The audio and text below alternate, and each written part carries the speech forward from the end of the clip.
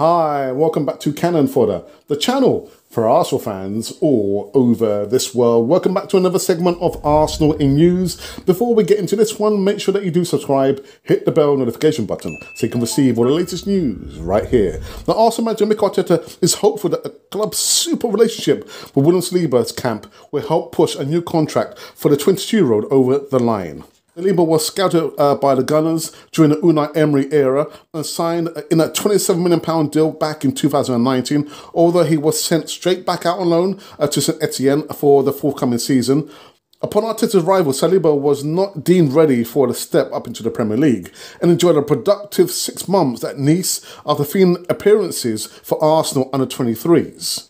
A season-long loan spell at Marseille followed, where the centre-back continued to grow from strength to strength, helping the Lions uh, finish second in winning La Liga, a young player in the season in the process. With Marseille fighting tooth and nail to sign Saliba permanently, there were fears that the centre-back could have departed Arsenal without making a single senior appearance for the North London club. But he elected to stay and fight for his place in England. Arteta's management of Saliba has worked perfectly so far, as the 22-year-old has regarded one of the Premier League's best centre-backs uh, in his breakthrough year before sustaining a back injury back in March. Arsenal risked losing Saliba on a free transfer this summer, but the Gunners recently activated a one-year option in his contract until 2024 as negotiations continue over a long-term renewal of his contract. It was reported last year that the centre back's entourage were not satisfied with his wage packet on offer, but Arteta is optimistic that talks will eventually yield a positive solution. We want to keep our best talent, especially the players that deserve some recognition. I think he has been incredible since he came back from his loan spells, and we want to reward him.